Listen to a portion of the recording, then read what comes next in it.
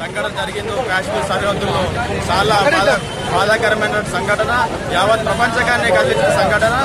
వాళ్ళ కుటుంబానికి నేను ప్రగాఢ సానుభూతి తెలియజేస్తూ వారి ఆత్మకి శాంతి చేకూరాలని భగవంతుని ప్రార్థిస్తూ ఈ రోజు ప్రపంచం ఈరోజు ఈ విధంగా ఉందంటే రెండే కారణాలు. ఒక రైతు అయితే మరొక జవాన్ ఈ రోజు రైతు లేకుండా కానీ జవాన్ లేకుండా కానీ మనకి జీవితం లేదు కాబట్టి వారికి మన కుటుంబానికి నేను ప్రగాఢ సానుభూతి తెలియజేస్తున్నాను శంకర్ ఈ రోజు నిన్న జరిగిన సంఘటన చాలా బాధాకరం దురదృష్టకరం. ఈ రోజు తీవ్రవాదం ఎట్లా పెరుగుతుందంటే దారుణమైన పరిస్థితి ఏర్పడ్డది. దీన్ని మేము బీసీ విద్యార్థి విభాగం మరియు మా మిత్రుల సహాయంతో తీవ్రంగా ఖండిస్తా ఉన్నాం. ఖబర్దార్ హెచ్చరిస్తా ఉన్నాం.